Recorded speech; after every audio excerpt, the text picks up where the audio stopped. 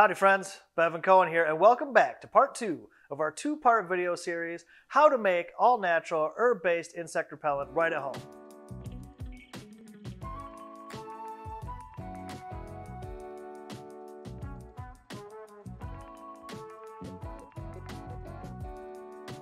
Now, it's been about two to four weeks since we've seen each other in the last video when we made our herbal tincture. So herbal tincture is about ready to go now. We've been shaking it up every day, keeping it nice and stirred to get a good potent extract right there. It's ready to go. So we've got our tincture. There's a few other things that we're going to need to gather. We are going to need a uh, funnel of some sort with a strainer. I got a real handy one right here. This is actually a, a funnel from a brew supply, a beer brewing supply company. Um, they're absolutely perfect because they've got these nice fine mesh screens that go right inside there. They clip right in there. Perfect for straining out our tincture. Pops out, easy to wash, right? Really, really handy piece of equipment right there. And we're going to need another jar to collect our strained tincture in. So we're going to strain out our tincture. And then we have a few other ingredients that we're going to include in our bug repellent spray uh, just to make it a little bit more potent. Of course, our recipe here is going to be two parts herbal tincture to one part distilled water and then one part witch hazel astringent. We're actually going to use a little bit of this witch hazel right here. Now, this is witch hazel that we make at Small House Farm. Uh, Hamamelis virginiana specifically is the herb that we use. Uh, this is made from the bark and the leaves of the plant. Um, and if you're interested in making it your own at home, it's quite simple to do and it's wonderful stuff. But if not, that's okay. If you need to purchase your witch hazel up at the pharmacy, um, you can certainly do that. You'll see that the homemade witch hazel has a little bit of color to it. It's got this orangish red color. This is from the tannins in the bark, which is what makes it astringent to begin with. Um, and the stuff that you're going to purchase at the store is actually clear, um, and it's based on isopropyl alcohol. Um, I prefer the homemade stuff, but that's just me. You do whatever's going to be best for you, of course. So we're going to have our witch hazel, one part witch hazel, again, two parts tincture to one part distilled water. But that being said, if we're going to use distilled water, um, maybe we could just go one step further than that and make an herbal infusion, right? If you want to make uh, if you want to make your bug spray using distilled water, that's perfectly fine. But if we're utilizing water, that in and of itself is a solvent, right? And we can use that and make a strong herbal tea and use that in our bug repellent to make our bug repellent even better than it already is, right? So the two herbs that we're going to use for our herbal infusion today are catnip and peppermint. And you may remember talking about these herbs in our first video, but let's just talk about them a little bit more right quick before we get going. I got some here in front of me. They're fresh. Um, I got some freshly harvested mint and a little bit of catnip right there. Both of these plants, of course, are in the mint family. They have square stems. That's how we know.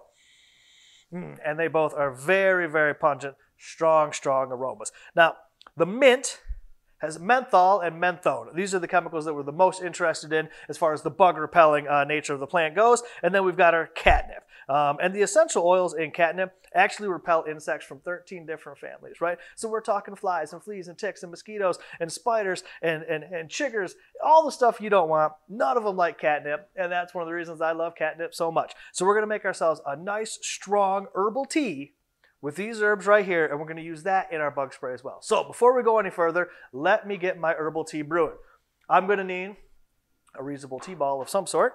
I got this big guy right here. You're going to want one that's pretty good size, right? Because we're going to want to make um, a nice strong tea, and we're working with fresh herbs. Remember, when you're working with fresh herbs, in any situation, teas, tinctures, oils, whatever it might be, you always want to use two to three times more plant material than you would if you're using dried herbs, right? Because dried herbs, dehydrated, the water's been removed, concentrating those volatile oils. This fresh plant material has a lot of water in it. Therefore, we need to use a lot more plant material to get just as strong of a brew. But that's okay. I got a big old tea ball right here, so we can get going. Let's make some tea.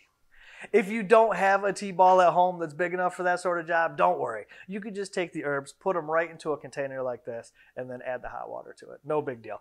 Our final product is going to be about an eight ounce container. Um, so one part herbal infusion would be about two ounces of tea. So I don't need to make a lot of tea to fill up this bottle. So I think that this tea ball that I got right here is going to be just fine. All right, now that our water is hot, let's go ahead and get our herbal infusion started right away so it can steep while we work on the rest of the product. Now, in my tea ball here, I have got a, a half a cup total herb. Uh, one quarter cup fresh peppermint, one quarter cup fresh catnip. 50 50, one part of each, into the tea ball. And then we're just going to add just enough water to cover it up. We're going to set this to the side. Oh, I can smell it already. Smells really nice. Nice for me, not for the uh, insects, right? All right, we're going to set that aside to steep. And while that steeps, we're going to go ahead and uh, filter out our tincture. Now, I'd already showed you my handy dandy funnel here. If you've got something like that at home, that's great. Um, if not, it's okay too.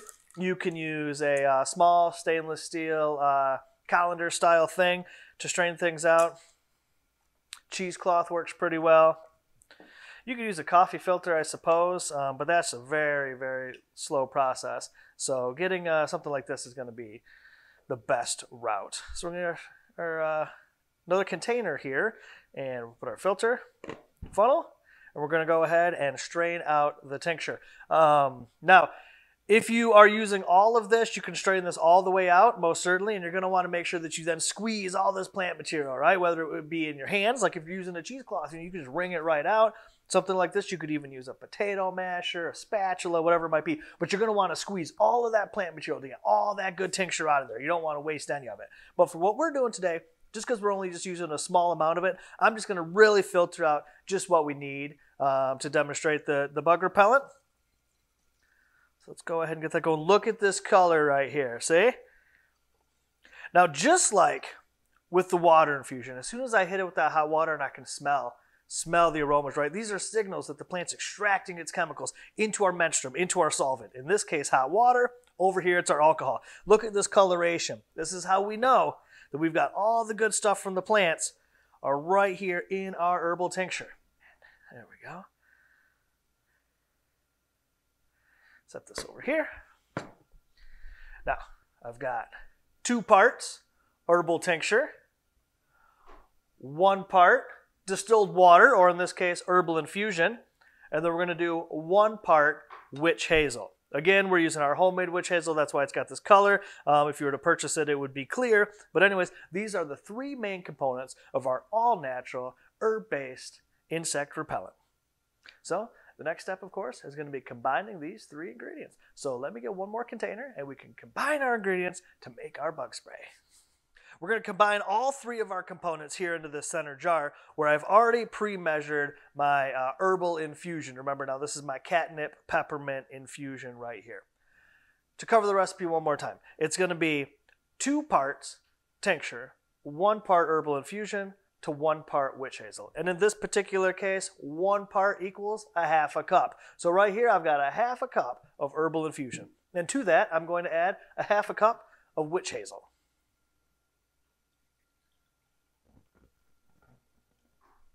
And then two parts of our herbal tincture. Now that's going to be uh, a full cup is what we're working with here.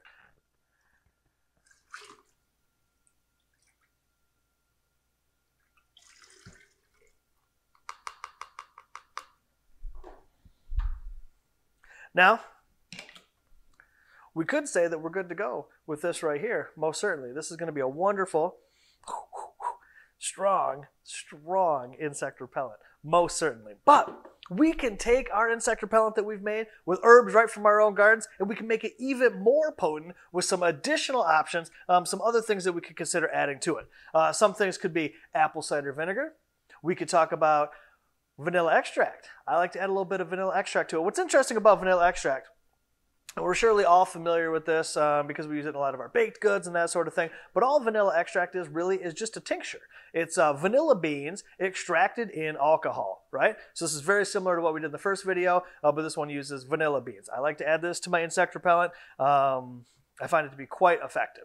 If we're going to add any vanilla extract or um, apple cider vinegar. Lemon juice is another a great option. We're to go with about one to two teaspoons is all that we're to need to add. For a volume of this um, size, about two teaspoons would be just the right amount of vanilla extract or uh, apple cider vinegar. Again, Some people do like to use essential oils in their products, and that's perfectly fine. Uh, but as you can see, we've crafted one with whole herbs, herbs right from our gardens, and that's what I prefer. But if you like to use essential oils, that's totally great. Um, and there's a number of essential oils out there that are fantastic um, for use in an insect repellent. Some of the most well-known, of course, being citronella and lemon eucalyptus, right? Um, now, this is something that's measured by the drop, even though we need quite a few drops here. Uh, I'd say maybe 10 to 20 drops of essential oil into our product.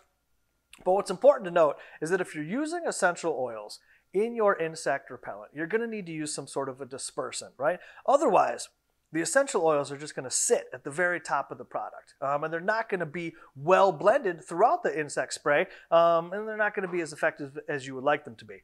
But easy enough. A dispersant, it could be something as simple as alcohol, right? Adding a little bit of alcohol to the mix is going to help blend those essential oils throughout the product. And since we're already using an herbal tincture, We've already got some alcohol in the product, which will act as a dispersant if we choose to use those essential oils. But I tell you what, I think this stuff is so good, we don't even need to add anything to it. But of course, if you want to, these are all great options, and that information, of course, is in the downloadable uh, list of equipment that you can uh, use that comes with the video. But we've got this guy right here. All we got to do now, bottle it up and make it ready to go. So what kind of bottles do we want to use? Again, that's going to be up to you, whatever you have available, whatever you have access to, but there are a few options. Um, now here's a couple very inexpensive bottle choices that come from the dollar store. I like these guys. Um, Typically, with a lot of small house products, we use glass bottles, uh, but glass is not something that I'm going to want to use for an insect repellent because this guy's going on the road with me, right? It's going to be in my backpack when I'm hiking, it's coming out with me camping, whatever it might be, and glass is a little bit too fragile. So these aluminum bottles are really nice for that. Um, you know, they're they're dent resistant. You're not going to break them. Uh, they're pretty much safe. They're not going to shatter. Uh, these are these are really nice. But the thing that we need to consider when we're looking at these bottles is more so the type of spray mechanism that we're going to use. Now, this one you're familiar with. There's a lot of household cleansers are going to have one of these guys on them, and these are all right. Um, I find them to be a little large, a little bulky. I can't quite throw this in my backpack, and I find, especially with the inexpensive ones, they don't hold up very well right? You get a few squeezes out of them, and then you know a piece might come loose, and they're going to break. I think I broke this one right here in the middle of this demonstration. Um, so sometimes you get what you pay for, right? Uh, the biggest issue though is the size of this thing. It's just not portable. I can't throw this in my bag or anything like that, or in my back pocket, and it's awfully top heavy, right? This thing just tips right over. So you get what you pay for sometimes. I prefer these. They're a little more sleek. They're a little more slender. Look at this guy right here. Same type of bottle, similar package, but it's this spray top that I love so much. Right? I love these guys. Just a little spring loaded mechanism. Uh, they're pretty sturdy. They hold up. I've used some of these, I mean, multiple years using the same spray bottle and they keep up just fine. So take a look at your local grocery store, um, your dollar stores, your local co-ops are a great resource for packaging like this. Look into those things. Support your local businesses whenever you can. If you are unable to find one locally, there's a lot of online resources. I'll put a few um, websites in the uh, the downloadable printouts just to get you ahead, you know, get you a good start on those. Um, but whenever you can, support local, of course. Try to buy from your local suppliers. All right, we're going to choose our bottle here. I am not choosing one of these guys. We're going to go with this one right here. Now, this is an 8 ounce bottle. 8 ounce bottle right here. So, if we were going to go back to thinking about our parts and our measurements, right, in an 8 ounce bottle, that would be 4 ounces, half, half the product is that tincture that we made in the first video. And the other half is going to be one quarter distilled water or herbal infusion, and one quarter witch hazel. That's what we've got going on here. I've got it all nicely blended up right here, and we've got to pour it into this container. So let me get a funnel. All right, so let me screw my cap on, and then we got to give it the test run. We got to make sure my nozzle is going to work. So let's give it a spritz. Got to get it pumped up. Oh, there it goes. Hmm, that's some good stuff. So I can cover my body with this wonderful insect repellent, and I can go hike in the woods, I can go to the park, I can go down the river, I can go anywhere I want, and I will be insect free with my all natural, handmade, herbal based insect repellent made with herbs that we grew right in our own gardens. And you can do it right at home too. All right, folks, that's all the time that we have today. Get out there and get growing. Thanks so much.